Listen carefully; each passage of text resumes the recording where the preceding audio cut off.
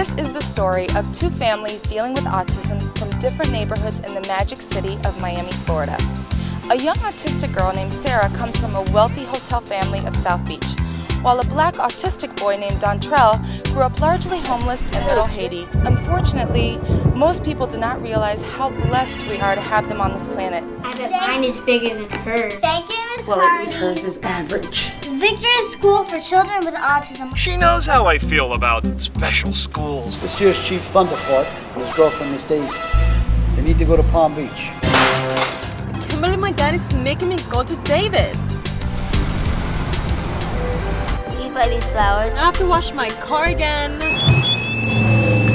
Did you get my email? I don't read no sissy emails. Where's my money? Have a nice trip.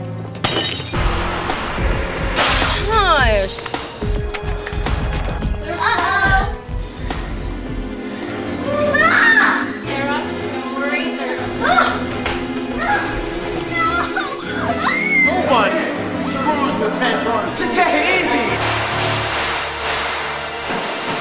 Sarah, slow down, slow down. Do us a favor, do not savor. Peas and carrots have no flavor. Hey, Let go of her. I will when she acts normal. Normal. No. I need more time.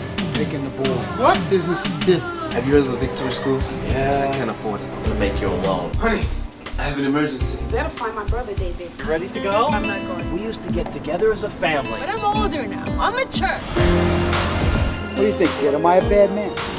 Come on, you got one. Reel it in. You know I don't drink this stuff. Wait. What the hell are you doing live? Dave Zero and, and Ronnie, they, they had this plan. You like Elvis? He's playing tonight where you're gonna be. You got two. This is Yeah. Jimbo's. I've been here a couple times. You went fishing or something? You got a shirt on. Oh, well, well. You got my money? I was considering sending Dontrelle to a special school. You're breaking my heart. Let's play hide and seek. Three, four. That fish probably has some kind of disease, like you. No, Angel! Come back! You got something valuable of mine!